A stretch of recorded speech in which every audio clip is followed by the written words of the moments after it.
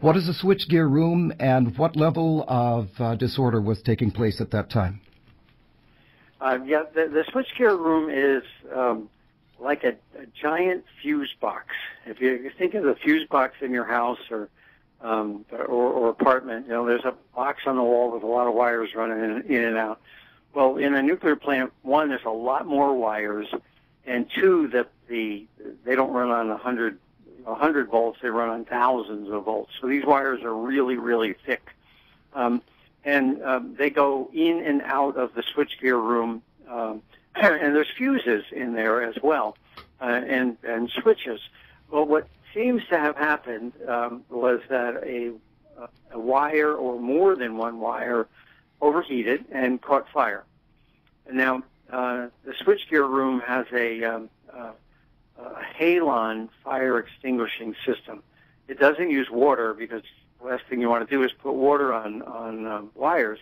So the halon was re- injected into the room and put the fire out. So the flames were gone by the time the plant got there, but the damage was done. Um, so the um, uh, so the fire department, the fire brigade on site, and they have a group of trained people that give up their whatever job they were doing and, and become firemen. So the firemen report to this area, and the smoke is so thick they can't go in. Um, seeing smoke, they said, "Well, let's call for backup," which is they called in the the local fire department as well. And so now they've got professional firefighters there plus their own cadre. Um, the smoke is burning rubber, burning plastic, burning fused material, um, and it's toxic. So again, they couldn't get into this area. Um, so you know, it's interesting when they said they couldn't see a flame. Well, given all that smoke, uh, it's it's hard to imagine you could see a flame. But obviously, there had been one because there was smoke. But in any event, they had a they had a fire that produced a lot of smoke. The halon put it out, but they couldn't get into the area uh, because the smoke was toxic. Um, so then they'll bring in air filters and uh, fans and pump that air out. And um, meanwhile, at least two of the wires that ran into this room were, were wires that powered their um, cooling pumps for the fuel pool. That, um, so Oh, go ahead. Go ahead. All right. Let us uh, go to the next part, and here we get great specificity about the failing systems that end up uh, with a uh, disabling of the cooling systems. This is from 10 minutes after the first announcement or noticing of the smoke and or the fire. And here we quote from the official Nuclear Regulatory Commission uh, event report at Fort Calhoun.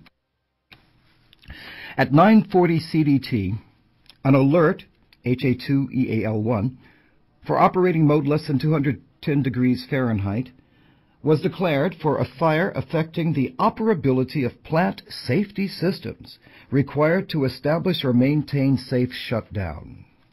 Time of fire was 9:30 CDT. Control room received multiple alarms and 480 volt bus 1B4A amps were observed to be oscillating. Bus 1B4A was secured and buses 1B3A and 1B3A to 4A were lost. Halon activated properly. At 0956 Central Daylight Time, all notifications to appropriate personnel were completed. At 1000 hours CDT, 4160 volt outlets 1A2 and 1 through 1A4 were secured to facilitate firefighting. Spent fuel pool cooling was lost as a result of the de-energized buses and the licensee entered AOP-36 for loss of spent fuel pool cooling. Heat up rate was determined by STA. Current time to boil for the spent fuel pool is 88.3 hours. Spent fuel pool cooling is currently back in service. This condition is being reported pursuant to 10 CFR, et cetera, et cetera, for declaration of an emergency class specified in the licensee's approved emergency plan. Did you get a gist of some of those buses and uh, how huge or heavy they are? Yeah, well, we hear about 4,000 volts. That's, um, you know, your house is 100, and uh, that's roughly the size of the power line that runs down the street. You know, it's a It's a big power line because these pumps are huge.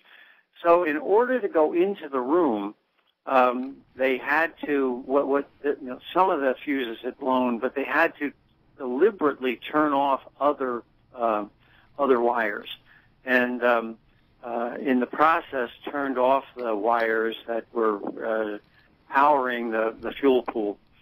And the other part of that was that they were talking about the oscillation but that means that doesn't mean that the wire was moving. That meant that the voltage was swinging wildly. So the control room operators are seeing numerous annunciators. That's you know, like the little dashboard light, you know, engine problem. Well, they probably had 20 or 30 little engine lights saying engine problem, engine problem, popping up all over the um, all over the plant. Um, now, in the background here is this flood. You know, so these operators are focused on the flood, and all at once they get blindsided by a a fire in the switch guard, in the switch gear room. So the um, the other part of that then is that the um, uh, uh, the STA, that's the shift technical advisor, it's a, an engineer who happened to be there then, uh, figured that they had uh, about 80 hours before they boiled the fuel pool, and um, uh, that's probably you know that's a a back of the envelope calculation, and uh, but they had a couple days uh, before they boiled the fuel pool dry. Um, go ahead. Okay. Uh, next item from the event report, and this is as of uh, 1:15 p.m. local time. That would have been uh, 2:30 in the afternoon Eastern Daylight Time.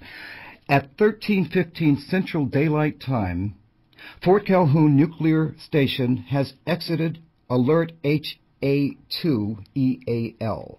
It has been confirmed that no fire remained in the vital area. Plant shutdown cooling remained in service and spent fuel pool cooling was restored and temperature verified to be lowering. The licensee has also exited alert HA3EAL1 after it was confirmed that the environmental conditions from the event and associated halon discharge does not affect the ability to safely operate or safely shut down the reactor due to being in mode 5 and shutdown cooling remaining in service. Fort Calhoun remains in unusual event HU1EAL5 for river level greater than 1,004 feet elevation as reported under a prior uh, advisory. What they're saying there is when mode five means that there's no power being generated and, and the plant is basically um, stopped. Um, so had this been at, at a different power level, mode one, two, three, for instance, um, th- this might have had a different outcome. Um, they they fired back the pumps, and it's interesting because this swimming pool is roughly 50 feet by 50 feet by 50 feet. It's a lot of water, and if you figure out his calculation there that it was heating up 50 feet by 50 feet by 50 feet of water was heating up at about two degrees an hour. Um, that's that's a pretty quick heat up of, of a massive amount of water.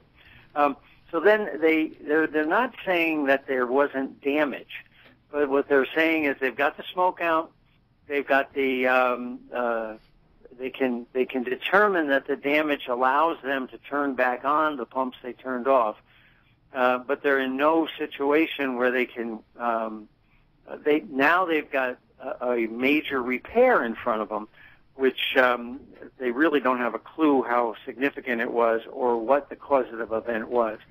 But they can exit the emergency because they've turned those pumps back on, the, the refueling uh, water pumps, the fuel pool pumps rather, um, they can exit the, the emergency and uh, essentially the NRC can stand down now.